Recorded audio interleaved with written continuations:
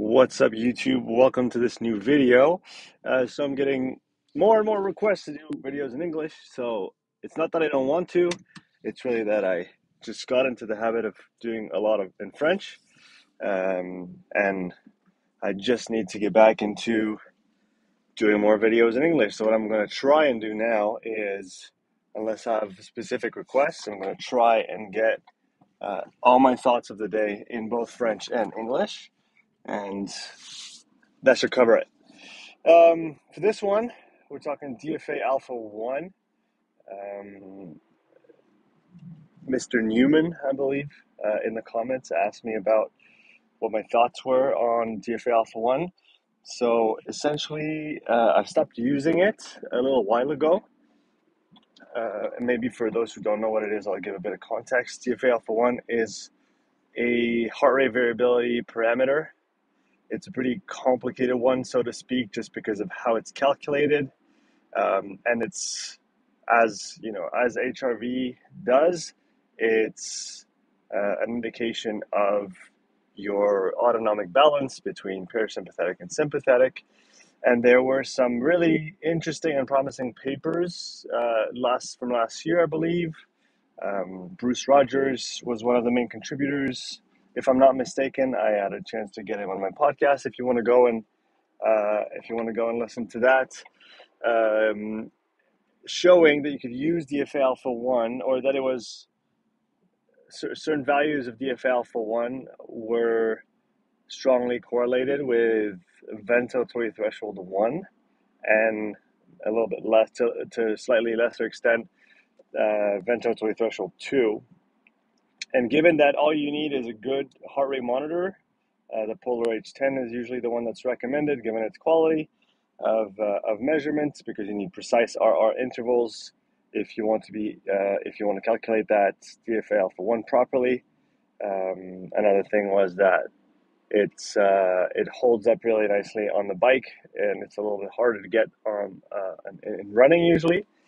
Um, so anyway, it's it's a really it, it, was a really in my mind promising uh, metric that could then be used to est- even if it was to approximate thresholds, uh, which in the field is always extremely valuable. Let's say. Um, then I got in touch with someone on Twitter who was doing a who, who had a, an app that he was developing to see DFA alpha one in real time uh, the trick was that on iOS, there was no way of really seeing it in real time. It was all uh, post training analysis kind of situation if you wanted your DFA alpha 1.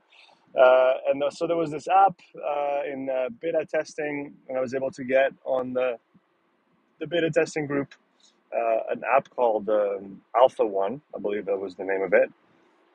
very nice, very nice app, very well put together. Uh, the data was clean coming out. And so I was doing a ride one day at whatever I was at 140 or 150 watts, which is moderate intensity for me under my first thresholds.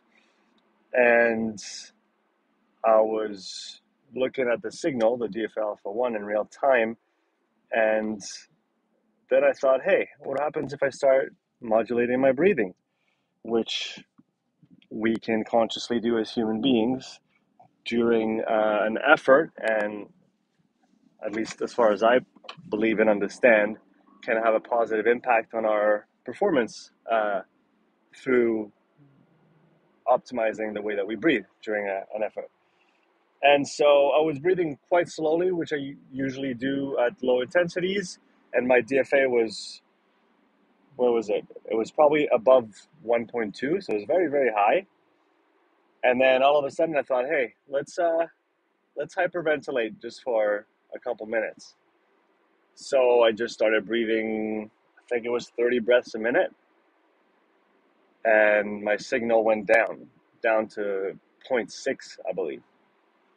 And I was like, whoa, almost like instantaneously, which in a way isn't surprising given that we know the link between respiration or breathing and um, I should say ventilation and uh, the autonomic nervous system and the impact that breathing can have on uh, our nervous system, which is uh, one of the wonders of breathing and breath work is that you can actually modulate your autonomic status, if we want to call it that.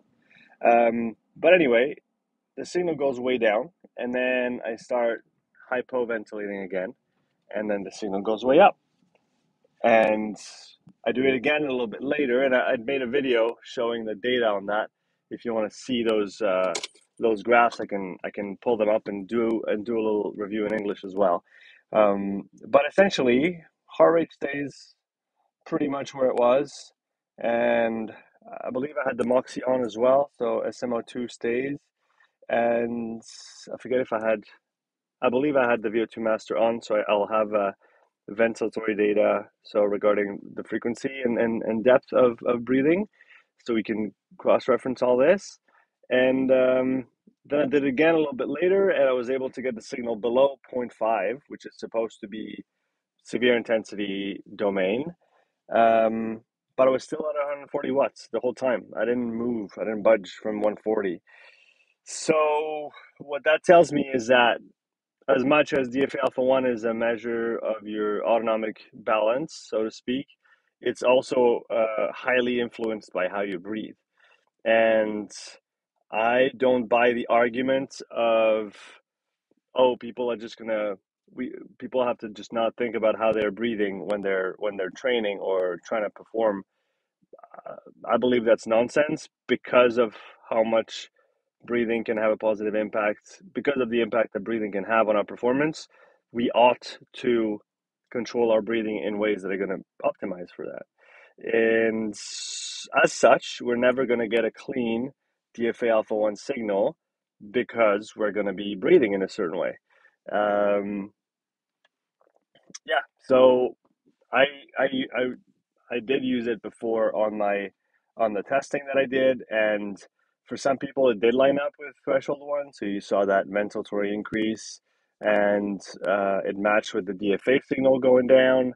But then again, some people, um, like myself, I'm able to delay my uh, I'm able to delay when I start breathing more heavily, uh, probably 50 watts above my first threshold and so for me, that DFA doesn't mean anything or show anything uh, valuable.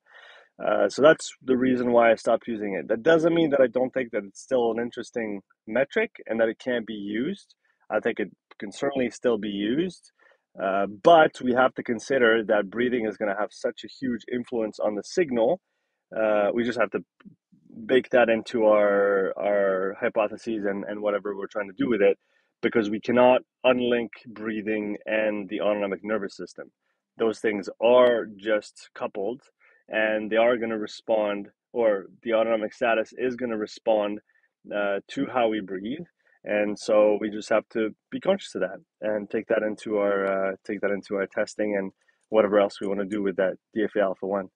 Um, so voilà, those are my thoughts. Let me know what you think in the comments. Let me know if there's other topics you want me to tackle in English while I'm here. And uh, as usual, give me a little like if you appreciate the content. Make sure you're subscribed because it's free and you can always change your mind.